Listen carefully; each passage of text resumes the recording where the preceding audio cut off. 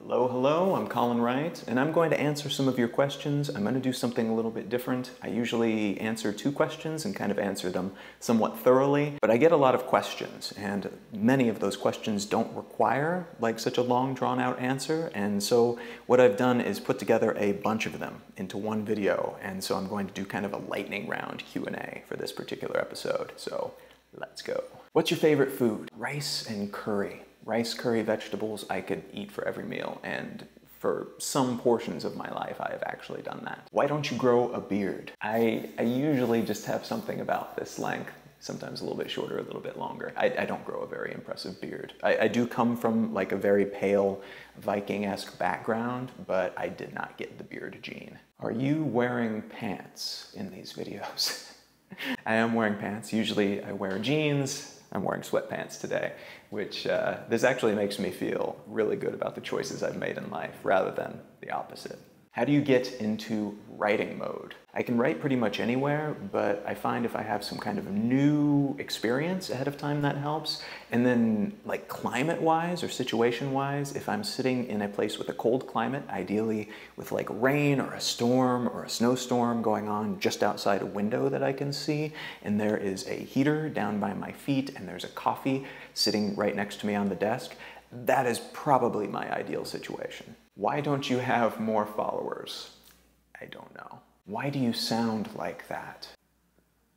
What's your favorite color? Grays, kind of soft tones, kind of light, like light blues sometimes. Very cool complexion, so certain colors I avoid, but typically very toned down colors, things that go with everything. How do you make money? I sell books mostly. Increasingly, I've got other opportunities like speaking gigs. I've got a couple advertisers for my podcast and such, but most of my income comes from books. How can I be more like you? Ideally, you focus on being more like you, like an increasingly better version of yourself. There's already a me, so that would be kind of boring, I think, to have another me. How do you produce your videos? I shoot them on an iPhone. I'm looking at an iPhone on a tripod right now. I've got a little lav mic on my shirt. I've got a couple of lights right here.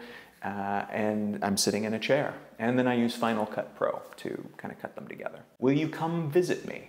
Maybe someday, hopefully. I'm, I'm, sure wherever you live is cool. Uh, if, if I can book like a speaking gig somewhere, or if I am doing my Vote for Where I Go project at the time and people vote for me to go there, then yeah, totally, that would be awesome. Uh, otherwise, it's kind of luck of the draw. I end up a lot of different places for a lot of different reasons, but unless I, I have like the travel expenses and stuff covered, it's a little bit difficult to plan because it, it, it actually is kind of expensive to travel, and that's where a lot of my money each month goes. Do you believe in God? Uh, no.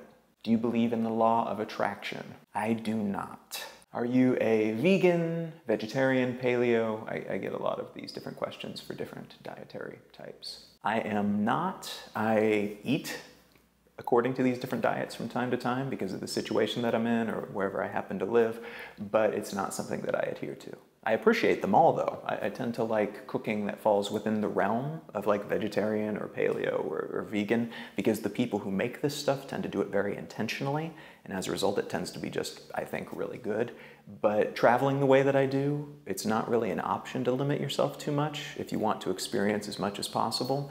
And we're very fortunate, a lot of us, to live in a world where we can pick and choose, but uh, across a lot of the world, it's not an option to be picky. Can I travel with you? No, sorry, I, I, travel solo, but you should definitely travel yourself. There's never been a better time to travel. There's a lot of different options and resources, and it, it really is quite safe. So I, I think it's very much worth your while to get out there into the world. You don't have to, to wait to travel with somebody like me to go do it. You can absolutely do it yourself. Thanks so much for watching. If you have a question you'd like me to answer in a future video, whether it's like a big drawn out thing that I can really ruminate on for a while or something that I can add to a pile like, uh, like these questions and answer en masse, you can ask them in the comment section below or go to the Consider This Facebook page and ask them there.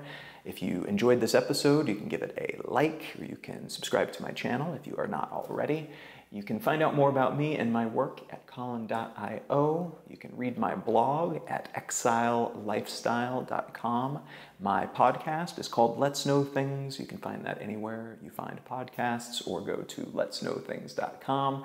And you can find me on all the social networks Instagram, Twitter, Snapchat, etc. at Colin is my name.